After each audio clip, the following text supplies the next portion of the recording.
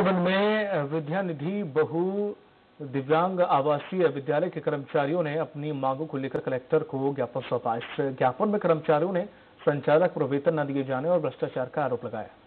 कर्मचारियों का आरोप है कि बीते एक साल से उन्हें वेतन नहीं मिला है। संचालक की ओर से केवल आश्वासन ही दिया जा रहा है।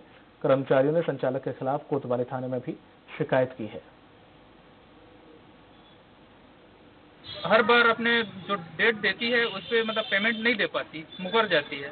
तो हम लोग सभी मतलब ये सब चीज़ देख के आज, क्या बोलते हैं कलेक्टर महोदय से मिलने गए थे। अपना पूरा, क्या बोलते हैं कलेक्टर महोदय से मिले और अपना जो परेशानी है, पूरा शेयर किया उनसे। और मेरा पुराना पिछले साल कभी नहीं दिए मांगने पर वो एक बाउंस चेक मैं चेक दिए थे, जिसमें जो मैं एक हफ़्ते से देखते देखते अभी तक मेरे को मिला नहीं। जब मैं बैंक में गया तो वहाँ सामने वाले मेरे को बैंक वाले और बोल दिए कि आप पैसा नहीं वैसे वाले चेक को क्यों देते हो? ऐसे बाउंस चेक करके मेरे को फॉर्म सहित वापस कर दिए।